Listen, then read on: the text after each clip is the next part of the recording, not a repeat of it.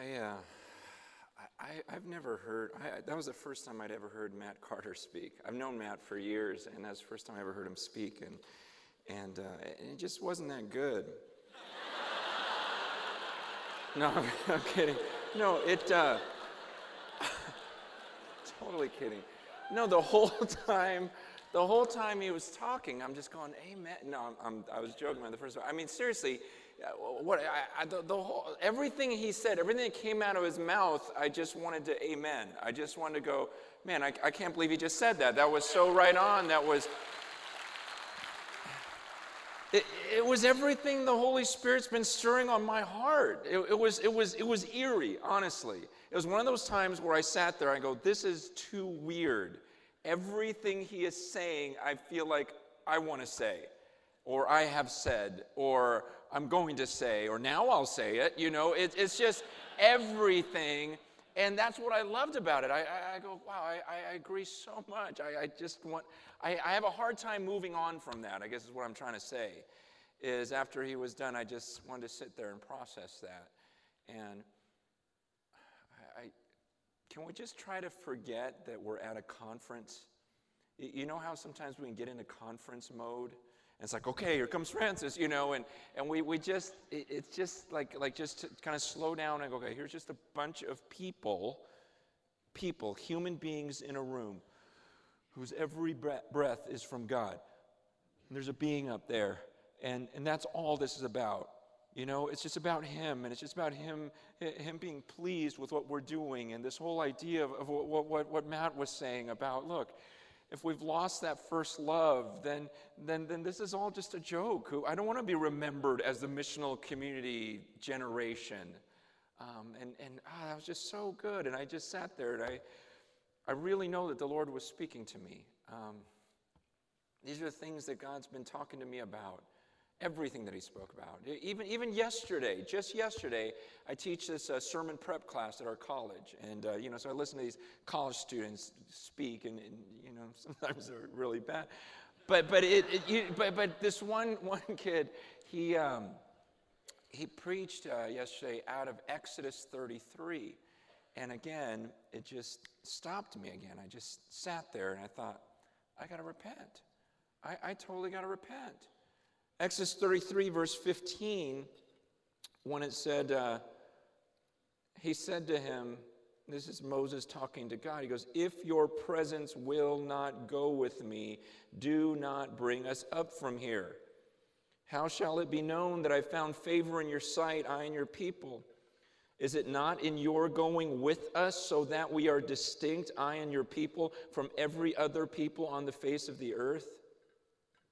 And he just challenged us. And he, he said, he goes, look, look, is that what you want more than anything? Just the presence of God. Like you just want to know that he's with you right now. You, you just want to know that, that you're walking where he wants you to walk. Because my motives in ministry have, have not been pure. I mean, so much of my life, I started off, you know, in, in, in, high school, and, and, and, you know, that's when I came to know the Lord. And I remember I would see these youth speakers, and oh, they were just the greatest speakers. So I thought, oh, I want to be like him. Man, he's funny, he's this, he's that, he's convicting. I want to do that. Look at the way the crowd responded. Those were the desires, the thoughts, a lot of things that went through my mind when I started ministry. And then, then, you, then you, you know, become a pastor and you see these, these churches and you go, oh, I want to do that. I want, I, I, I, want, I want a big church.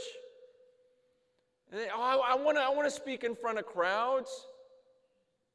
It's just all these thoughts and all these different things go through your mind and, and, uh, and you just lose sight of just that original intention way back when, when you just you just want to know you're being pleasing to God. And then the more responsibility you're given, uh, the, the more God entrusts you with, the harder it gets sometimes to just go, all I want is the presence of God. I just want to know. And if, he, if He's not in this thing, I don't want to be a part of it.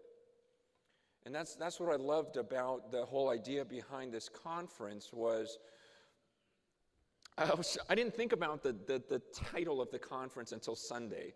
Like verge. I thought, okay, that's cool. That's new. Usually you can't come up with any more new words for conferences, you, you know, because everyone is taking them. And I, and at first I, you know, I was thinking, I was thinking, what does that even mean? You know, verge. I, I don't know. But I was thinking merge. You know, I thought, oh, we're blend. No, that's merge. You know, and I did a merge. I did a merge conference once, and I, I did a, I did a surge conference once. I did an emerge conference once and a resurge, and you know, I was thinking about all the different urge. You know, I did a um, purge it, it, for bulimics. It, it, was just, you know, but I, I, was thinking, what, what is, what's the idea of verge? And I actually looked up what, is, what, does verge mean, and, uh, it, and it means like the outer like uh, limit, like you're, you're just about, you're like right at. I'm like, oh yeah, on the verge, like it's it's right there, and uh, and I like that. I like that thought because I really do feel like we're, we're right there at something. And it's not, eh, this, I don't, I don't see this as one of these conferences where we go, come on, you guys, let's start a movement. You, you know how you get it? You know, I've done those. I, have been the guy that goes, yeah, come on, let's, let's change the world, you know, and everyone stands up and we sing Shout to the Lord and, and, and run out and, and everyone walks. I go, that was the greatest. We're going to start a movement. You know, I, I haven't sensed that with this. Uh, what I've sensed is really that God is doing something, and, and we're, we really are on the verge of seeing something happen. Like, it, it's, it's just been really weird. I, I mean, listening to you was eerie because I go, gosh, that's so crazy. We're in these different places, and those are all the thoughts that God has put on my mind. The timing of things, of, of uh, I, I, I, just, just different guys that I met. You know, I remember when I was really struggling with some of this, and, and I get this uh, email from a guy named Neil Cole, you know, asking me to, you know, write a foreword in his book. And I said, no, sorry, I don't have any time, you know. And, uh, but then later the Holy Spirit, like, you know, go back, read that one. I go, which one? Neil Cole's one? I, I know the guy. You know, so I, I went and I, and I read this, his book, the, the Church 3.0, and I'm going, no way. Shut up. This is everything. You know, it happened when we read Total Church as a staff. We go, this is everything we've been talking about. It's everything we've been talking about. That's why when he said it, it's like, wow, that's everything. I, I, met Dave Gibbons. I just met Dave Gibbons. Everyone assumed I knew Dave Gibbons because we're like the two Asian pastors. And so, seriously, in Southern California, we were the two Asian pastors that, you know, pastor multicultural churches. So everywhere I went, they go, you know, your buddy Dave. And I'm like, I never met him, you know. And but we ran into each other this summer. It was so funny. We had a conference together, and we both we just like ran up to each other and hugged each other. We did because he was like, "Man, I've been hearing about you for years." Like, "Oh yeah, you too." It was like, "Oh," you know, and uh, and it was it was so crazy. It's like, oh, you know, so we went out, got some sushi, you know, and uh, and we're just laughing. We're just, I mean, it was just like, wow, I can't believe I haven't known this guy. But everything he was talking about, it was just like this. You got to be kidding me. You got to be kidding me. Everything you're telling me is everything the Lord's been put on my heart. And, you know, Jeff Vanderstelt, other guys, it's just, it's, it's, it's just, it's a really strange thing. Um, I don't believe it's, it, it, this is not something I would have ever come up with. I liked American church. I did. I liked being able to hide in the back and come in and do my thing, my relationship. But I don't really like hanging out with a lot of people, you know. And uh, just being honest with you, I'm more of an, I'm more of an introvert. And um, even my wife, uh, I remember years ago, she asked, she goes, "Honey, what do you love most about me?" And my answer to her, without even really flinching, I go, of all the people on the earth, you bug me the least.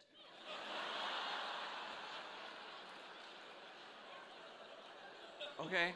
So that gives you an insight into, you know, me. And uh, it, it, we got other people like me out there. Um, it's just that, that, that thought that's so. But, but what happened was as I started studying the scriptures and, and looking at scripture, and I, I think that's what Matt was talking about, it, it always bugged me because you'd read scripture, you'd see one thing, you go to church, you see something else. And now everyone's just going, I'm just, I'm done with that. There was a, a unity, a, a, love in the, in the scriptures that we just don't see in church as we've been doing it. Um, uh, this whole, uh, what do you call it, missional community thing, you know, people have asked me, hey, you know what, you're just doing because it's the emergent thing. He goes, and, and aren't you emergent? I go, I'm not emergent. I don't even know what, I, you, know, you know, people say, are you this movement? Are you this movement? Are you this movement? And I go, I don't know, man. I just read this and I just, I just kind of, whatever it says, blah, it comes right back. I, maybe we're regurgent. We, we just, you know, whatever, you know, this is what they did. Blah, there it is again. You know, it's just, I'm not trying to come up with anything new. It's just uh, when I read the scriptures, this is what I was and what I'm convicted about of the way the church ought to look. And um, you can go ahead and tweet that. Francis is a regurgent pastor. Um, but uh, like I, I, remember, remember like uh, seven or eight years ago, somewhere around there, I came back from Africa, and the Lord just tore me up he just showed me you, you don't care about the poor. You know, you, you, you, you just avoid them. And uh, when I got over there, it just caused me to fall in love with the people over there. And, and, and suddenly my, my heart for those who are in need. And I started, I started seeing it in every page of Scripture. I'm like, how do I miss this? And, and it was so crazy because then I'd start talking to my friends in other places around the nation. And guess what God was teaching them? The Spirit was saying the same thing to them, and suddenly you saw this generation of people going, Man, we got to start caring for the poor. And that just became this huge thing. But it wasn't like we all got together and said, Hey, let's start a movement on caring for the poor. It was just something the Holy Spirit was doing in each of our hearts in all these different places. And, and then uh, a few years ago, three, four years ago, the Lord really was convicting me on my theology on the Holy Spirit. I, I, I started reading the scriptures going, wait a second, I, I've been completely ignoring the Holy Spirit. Not, not completely, I would never deny He exists, but the reality of Him in my life. And so then I start talking to my friends, and guess what the Holy Spirit's leading them to think about? And in the last couple of years, like I said, we, have been getting together as elders and looking at Scripture and going, man, I want this. I want what the Scriptures are saying. And then we start Uh, you know, as we go out and talk to other people, we realize, wait, other people are even further down the road than we are. It's something the Holy Spirit is doing. And that's what I love about this is it, it takes a lot of pressure off. There's, I, I don't stand up here going, okay, come on, Francis, start a movement. I just go, man, a movement started, and it's cool. I get to be a, a part of it. We get to be a part of it. And, and you're here because the Holy Spirit has guided you here through your teaching, through your study, through your theology, whatever it is. I, we, we have to make sure this is um, driven theologically, though, you know, that it's not just this, oh, here's a cool thing to do, let's break down the megachurch, you know, but it's more just, you know, I read this in God's Word, and so it has to be done. See, I, I've had other ideas in my head that weren't necessarily biblically driven. I go, oh man, why don't, we, why don't we try this at the church? Or why don't we try this? Why don't we try that? And sometimes it goes well, sometimes it fails. Sometimes I just quit, going, you know what, it's just too hard. But this is different because this is something I, I, I still remember the day when uh, I was with a couple of my elders and we were sitting at uh, just at, at, Panera and we were just talking about church and, and uh, we're talking about biblically what it's supposed to be. And then the reality hit us. I still remember when the reality hit us where, where one of the guys said, You know, what scares me is when I read the scriptures, God doesn't get mad at the people, He gets mad at the leaders. He, he goes, he goes, man, our, our church is the way it is because we led them here. And there was this sense of, uh, I mean, seriously, it was like the sickening, man, I don't want to stand before God on this one and, and just go, well, well, this is the way everyone else was doing it. No, I, I knew better. I know better now. And I know what ought to take place in these gatherings because I'm looking at Scripture. And as we looked at that, it's, it's one of those things where we go, we've got to change. I don't know how. We're still in the middle of the process, but it's not something we can just quit because it's biblically driven, it's theologically driven. It's not an idea, it's not a trendy thing. It's just something we see in Scripture, and we said we've got to do this. And uh, and it's cool because as we look around and talk to other people, and many of you, you go, yeah, that's the same thing I feel. Last, last week I was in Edmonton. Um, I don't recommend that. And, uh, and this guy, uh, one of the guys at this conference, uh, younger guy, was just, he just said, hey, what would you say to a younger guy that's thinking about starting a church? And I said, be courageous biblically, be biblically courageous. Uh, think, think through, be as biblical as you can. just, just erase what you've seen everywhere else and just open up the Bible and go, okay, if, if I only had this and I'd never been to this church or this church, I just never been to church and I just open up this book, I, I go, just, just try to figure out, okay, what would you do? Because I told him, I go, I wasn't, I wasn't mature enough and I wasn't courageous enough to, to do that. I just, I just looked around at other patterns. I just looked at what, what other people were doing and I would tweak it. I go, well, I like this about his, I like this about his, I like this about that church over there. And so I'm going to combine those and make this thing. I go, I didn't have the wisdom to just sit down with the Word of God and go, okay, what is it just clearly saying? What's the obvious truth?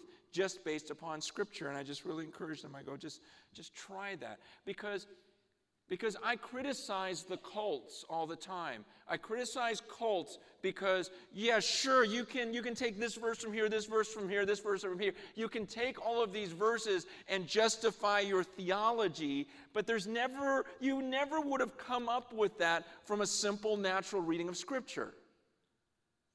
Anyone can create a new religion and take verses from all these different places and make it work.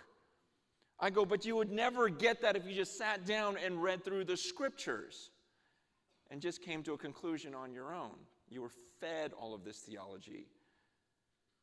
And in the same way, I got to look at myself and the way that I've done church and go, okay, would I ever have come up with this just from Scripture? And the answer is no. I, I wouldn't have. What would I have come up with?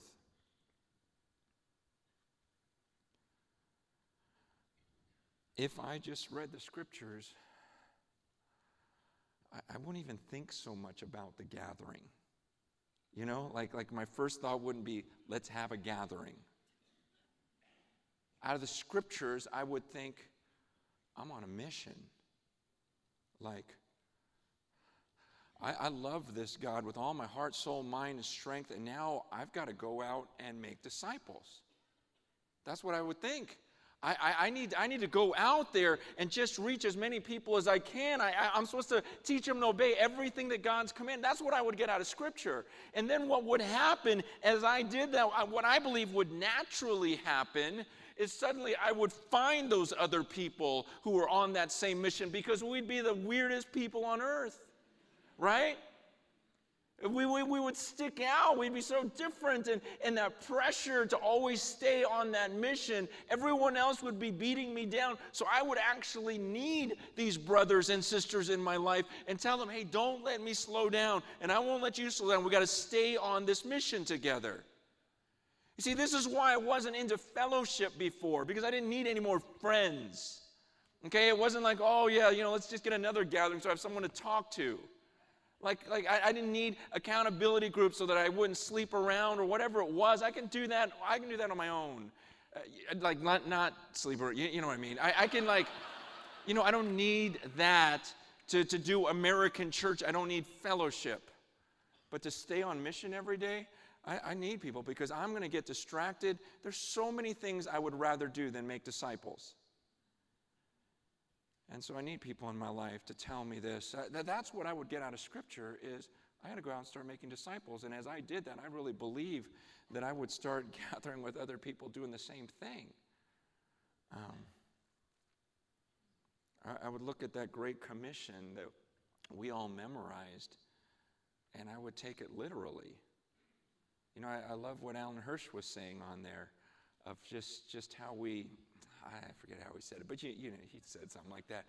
I, I, just I liked it when he said it, and I don't remember it now. But basically, we we, we, we tame everything down. You know, we toned everything down. We we, we, we, we you know whatever we do, we we uh, amass. Oh, oh, I thought he said emasculate. Domesticate. Did he say emasculate? Oh, okay, domesticate. What am I thinking about? Okay, um, domesticate. We domesticate. Yeah, yeah, that's, that's what we do. but but it's, it's so weird. It is. Because I, I'm a very simple person.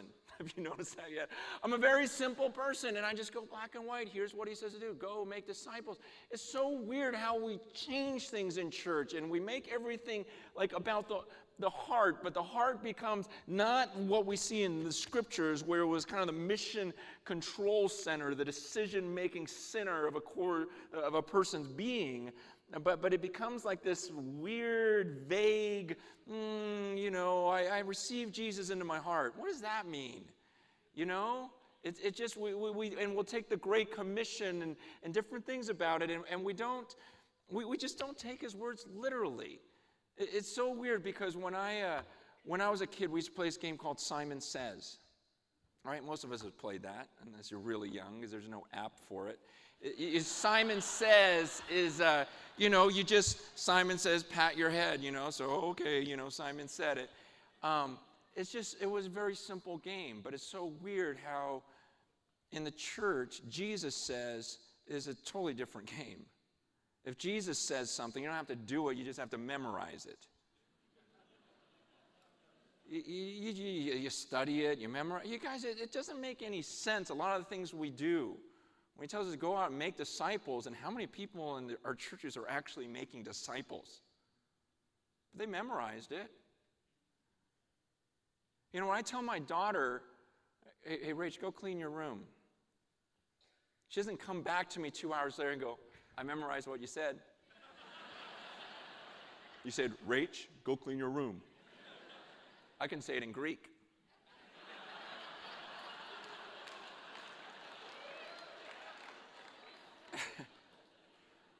my friends are going to come over and we're going to have a study on what it would look like if I cleaned my room.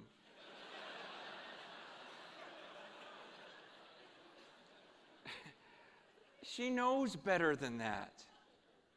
And so, why do we think we're going to come before the judge one day and quote everything that he said and talk about how much we know? It's just, it's just this black and white stuff. If I just started with scripture, I'd go, here's what I would do I would start making disciples. I think about the love that I see in Scripture. That's, if I came out, I thought, wow, what I do see about the interactions between believers or followers is such an intense love. I mean, wouldn't you get that if you just came out of Scripture? Wouldn't you think, okay, what, whatever I do, when I meet a brother, like I got to treat that guy like family? Because uh, when, when I would read the book of Acts, you know, um, you know, Acts, Acts chapter 2, you guys know these passages. Acts, Acts chapter 2, I mean, I would read that and, and think, wow. They devoted themselves, verse 42, to the apostles' teaching and to the fellowship, to the breaking of bread and the prayers, and awe came upon every soul, and many wonders and signs were being done through the apostles. And all who believed were together and had all things in common, and they were selling their possessions and belongings and distributing the proceeds to all as any had need. And day by day, attending the temple together and breaking bread in their homes, they received their food with glad and generous hearts, praising God and having favor with all the people. And the Lord adding, added to their number day by day those who were being saved. I love chapter 4, verse 32, when he says, Now the full number of those who believed were of one heart and soul, and no one said that any of the things that belonged to him was his own, but they had everything in common. And with great power, the apostles were giving their testimony to the resurrection of the Lord Jesus, and a great grace was upon them all. There was not a needy person among them. For as many as were owners of lands or houses sold them and brought the proceeds of what was sold and laid it at the apostles' feet, and it was distributed to each as any had need. See, we read those and we go, man, could you imagine being a part of something like that?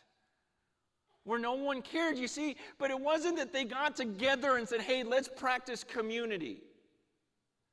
They'd say, let's get together and let's practice fellowship. No, they were on this mission because they saw someone rise from the grave. And, and, and they just go, you know what? I, I saw him. He was on a cross. I saw him die. And then now I, I saw him walking around. And he said, go tell everyone to obey me. And so at that point, these people were just like, okay, fine. I could care less about any of my stuff. I just saw a person rise from the grave. There really is life after death. I got to start telling everyone. And if you're going to tell people, look, what do you, I don't care about my stuff anymore. And they're was this group of people who just didn't care about their stuff anymore. They just cared more about being part of this family, this group of people that were all going to get this message out. They realized our lives have eternal purpose now. We just saw someone rise from the grave. It makes sense. It's radical, but it makes sense. That's the thing is when you read the book of Acts, you look at what their commitment and the crazy things they did, and while it's insane, it, it makes sense. It's radical, but it makes sense. It, it, what wouldn't have made sense was if you read all of that and they saw a man rise from the grave. He said, Go and make disciples. So they got together in a room every Sunday and sang some songs, and a guy teached. Teached. See, that really wouldn't make sense. Then a guy taught. And, uh, and they came back the next week and did the same thing. And then the next Sunday, and they did the same thing. And some of them gave 10% even. you would read that and you go, Shut up, you guys didn't see someone rise from the grave. Shut up. If you saw someone rise from the grave, you'd be doing a lot more than that. You'd be telling everyone you know. See, that's it, it makes sense if I just started from Scripture, I, I, would think about the love that I'd have for these other people. I, I would think about uh, 1 Peter 2, where it talks about how we're this holy nation. We're, we're these living stones, and we're, we're building a, we, we make up a temple. Like I'm just a piece of it. You know, I'm like a Lego you know, like a little Lego piece. There's nothing great about it. But then once we, it's, it's this idea of working together and we stack up and we create this, this, this, this organism where we love each other so much. And people in the world start looking and going, man, look at the way they interact. And they actually see Jesus. That's why in, in 1 John 4 12, it says, no one's ever seen God. 1 John 4 12 says, no one has ever seen God. But if we love one another, he somehow his love's manifest in us. So, so no one out there has ever seen God, but if we as the body would love one another, they'd walk in and, and it, they'd get a glimpse of him. They'd get a glimpse of his love. This is the way uh, Scripture says that this is how we reach the world. It's, it's very similar to what Jesus said when he was praying in John 17. He goes, Lord, I pray that they be one. I and them, you and me, may they be brought to complete unity to let the world know that you have sent me and have loved them even as you've loved me. That's weird. He says, wait, once they're unified, when they really love one another, not only will I be in their midst, but when they love each other like that, the world's going to believe that Jesus was sent from God. Our unity is going to show that. that. That's crazy to me. I, I remember when I grew up in church, you know, the way we proved that Jesus really came from God was through apologetics, through prophecy. I'm not saying that's bad, I still use it. But Scripture says, no, it's going to be through your unity. It's going to be by the way that you love one another. And the truth is, is when people came into uh, our gatherings on Sunday, they, they didn't experience that. They still don't. We're working on it. Something's just got to change, something's got to break. Because when I read the scriptures, there's supposed to be such a unity where God wants us like a body. 1 Corinthians 12, like hand, foot, eye, ear, like we're all just part of this one thing. Do you guys do you think that way? Do you think about God in heaven right now and for those of us right here in this room, okay, forget about everyone out there, even back at our, our, our churches or gatherings. Like right here, God wants us to live like a body. Like if God had, if, Je- if we care about what Jesus wants, which what we're saying, Jesus is Lord, what does He desire? He, he, he wants to see us even in these next couple of days living like family, living like an extension of one another. And uh, I, I, thank God, I will say this, you know, with the different frustrations I've had with our gatherings, man, some of my elders are here at this conference with me, and um, I look at our relationships with one another, and I go, okay, this is it. This is this this is this is biblical. These are guys that I know would give their lives for Jesus.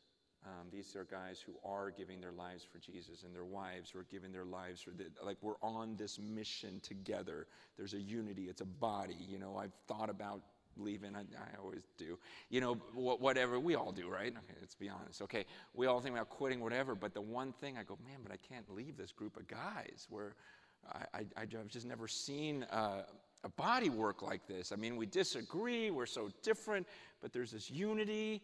Man, I'll, I'll never forget, uh, you know, us studying this Acts passage together one night after having dinner together and breaking bread together and, and just going, man, haven't you guys always just thought, why can't this happen in Southern California? What, why do people always say this is cultural? I mean, the, the believers began to sell their possessions. That wasn't the norm. You know, why, why do we say that's cultural? Why, why would they write it if everyone was doing that anyways? And everyone always had everything together. No, there was something unique happening. It was this weird group where they had everything in common, and no one was like, no, it's about me, it's about me, it's about me. No, it's about this mission, it's about this God. And, and so everything, I thought, why can't we do that? And to where, where we depend on each other. Man, and I looked at, you know, one of the guys, I go, man, I, I promise you, man, that if anything happened to you, I really look at you like, like a brother, like, you know, like the Bible says, and if anything happened to you, I could promise you, man, that whatever is mine, man, is, is your family's. Like, I would take care of them just as much as I take care of my own family. Your kids, I mean, you don't have to worry about them. And, and, and, and for guys to look at me and say the same thing, look me in the eyes and go, no, Francis, I promise you, if anything ever happened to you, everything, whatever is mine. It's your family's, man. I got your kids. I'll take care of them. Everything's cool.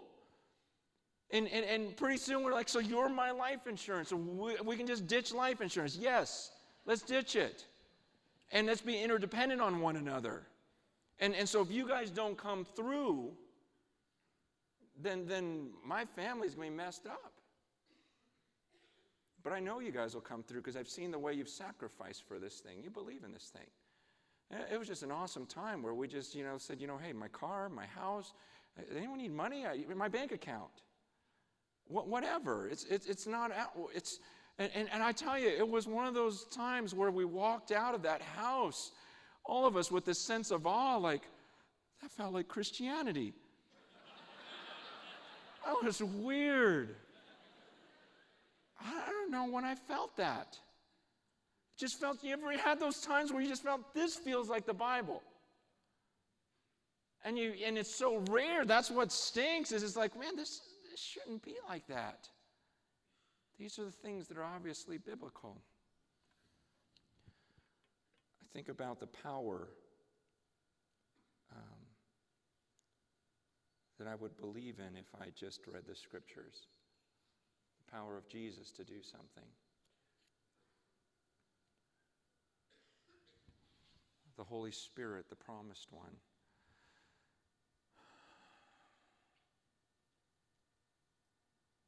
Are you sure you've experienced the Holy Spirit this last year? You know, are a lot of the things that you've seen and experienced, are a lot of them explainable just by natural means? So when I read the scriptures, that's why it's so important that this has to be a Jesus thing.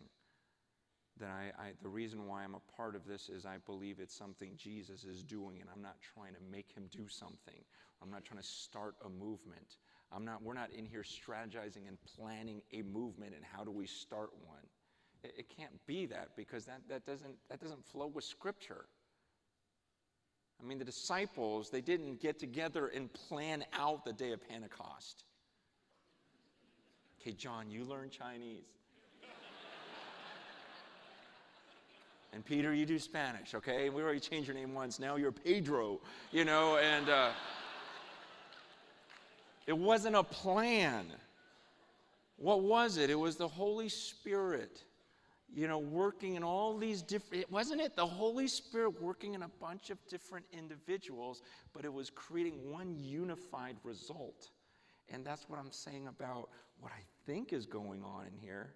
You, you know what I mean? Like, like when I look back in my life and I look at when this stuff started bugging me, really bugging me, it, it started bugging other people too. And that's why I get excited about it. It's like, okay, I'm, I'm just along for the ride now. I'm not trying to create anything here. I really believe this is something the Holy Spirit is doing. Um, the, the other day, I went with my buddy out to the beach to go surfing, and it was totally flat. You know, there's nothing there. So we bought a burrito, breakfast burrito, and drove home. I didn't go out in the ocean with him and say, hey, you go out further and splash. Maybe you can make a wave. No, you just go, ah, there's nothing here. We just go home.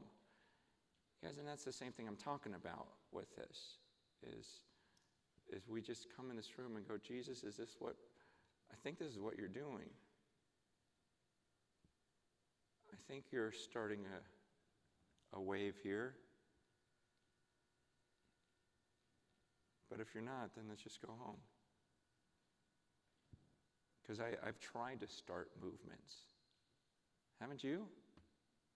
Haven't you tried to create something and make something work and it just it doesn't work? There's no power to it. I remember one time uh, in a in an elder meeting,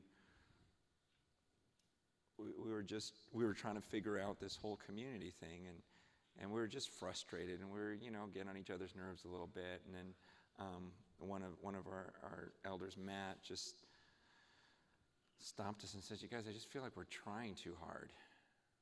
Because I've noticed in my neighborhood, I, I just I don't even say things to certain people anymore. I just get on my knees and I start praying for them, and I, I, I can't even tell you about I, just the results. Uh, things are just happening, and I thought, wow, that's so good. And we just can the rest of the business. Let's just pray the rest of the time, and let's just ask God to move and my hope.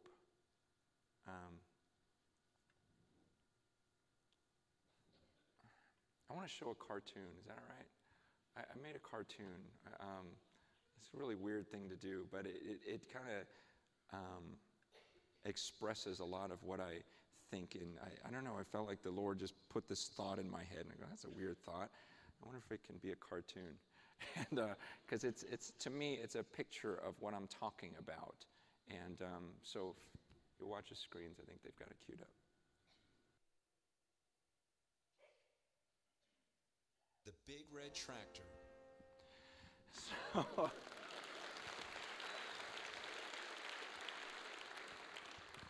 if you didn't figure it out, the tractor is the church. And I just feel like we're pushing it along. You get the most gifted people you can to inch it along and make it look like something's happening. And it's enough to make us happy. But when I read the scriptures, I go, gosh, it really seemed like there was just a movement. It really was Jesus building his church, and nothing was going to stop it. And when that happens, it just, it's, it's just, it's not manipulated. It's not forced. It's not pushed. And that's why I say, I hope you're with me on this, that we're not here to try to start a movement. We're here because we believe God is starting a wave, and it seems like, just like on that day of Pentecost, where He talked to a bunch of different individuals and uniquely gifted them, and there was this one unified result. It, it, it seems like that's what's going on right now. And it's what I want to pray for because I go, no, this is biblical. When Jesus says to pray in His name, it means more than obviously in Jesus' name we pray. It's like, what are the things that Jesus wants? And these are the things we ought to be confident about. That, that's the thing is, is, is as we pray, even now, I'm going to say, Lord, would you start getting the believers in our nation to really love you and be serious about making disciples? And can we, can, can you, God, just put a love in us for one another where we really start looking like family. Because you guys know, our, our churches don't look anything like families anymore. You know, they ditch the moment, you know, one bad thing is said up front or one, you know, service changes or, oh, no, they have got a better kids pro. It, no, there's no sense of unity or oneness or about, and, and it's like, Lord, that's got to change. There's no interdependence and a sharing of our belongings. We're just as individualistic as the rest of the world. And those are the things, what, what I love about it is those are the things God wants to change. I mean, when I see in Scripture, that's His desire. I know I'm praying in Jesus' name when I ask for those things. And so it helps me because you know how sometimes when you pray, you don't know what to pray for and you're not even sure if you're praying for the right thing. This is one of those things where I know I am. I know I'm praying for the right thing.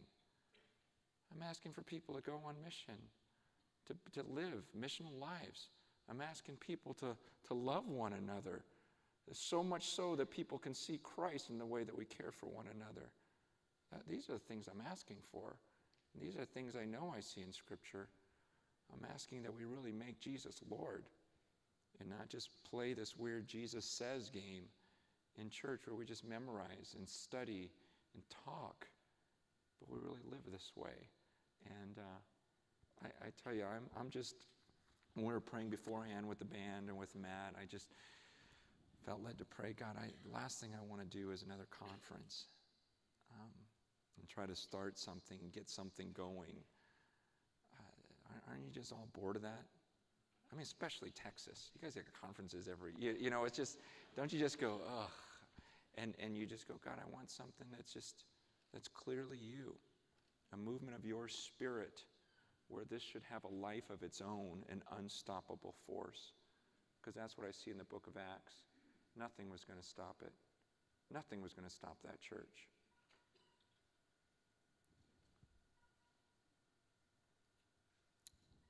Let's. Um, I, want to spend some time praying, but I don't want to just say, let's pray and close our eyes. I want you to think about the book of Acts and how unstoppable they were. Can you imagine back then, these guys come out speaking in different languages. Amazing. You know, even, even when uh, sin tried to creep in there with Ananias and Sapphira, God struck them dead. Okay, fine, problem solved. You, you move on. Then, then, uh, then, you know, Stephen, remember when he was, he was about to get stoned? Nothing was going to stop him. Oh, but Saul might stop him. Saul could stop him. No. You see how it's all Jesus? Like the, the whole thing with Saul and everything else. I mean, every time there was something that was going to maybe block the church, God said, No, no, no, I'm going to build my church. The gates of hell won't stand against this thing. I just want to be a part of that. I've done the mega church thing, the speaking thing. At the end of my life, I'm going to stand before God and He's going to say, I didn't ask you to do all those things. Here's what I asked you to do. Here's the way I asked you to love others. Did you do that? And that's why I go, this is something that has to happen. And so, by the power of the Holy Spirit, I'm going to ask that we could continue in the book of Acts and that our lives and our gatherings would be congruent with what we see in Scripture. And I want you to believe with me that God in heaven actually hears us. Let's make this a biblical gathering where it's a bunch of people with one heart and one mind, like one person and God from heaven looks down and goes, Wow, look at that room in Austin right there. They, they're serious about this. They're not about themselves. They're not about ego. They're not about reputation. They, they just want this so badly. We're hungering for God.